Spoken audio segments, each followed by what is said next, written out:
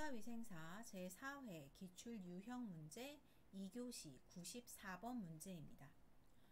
보정장치 그러니까 리테이너라고 하죠. 이것에 대한 목적으로 적합한 것을 고르는 문제입니다. 1번 치료 결과의 안정 2번 구강 악습관의 개선 3번 치아의 교정 4번 교합 관계의 개선 그리고 5번 성장 변화로부터의 보호 다 뭔가 교정과 관련된 말이다 라고 표현할 수 있겠지만 정답은 1번입니다. 보정 장치의 목적은 첫 번째는 재발 방지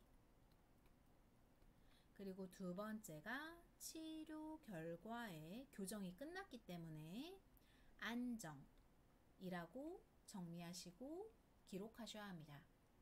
따라서 94번의 정답은 1번입니다.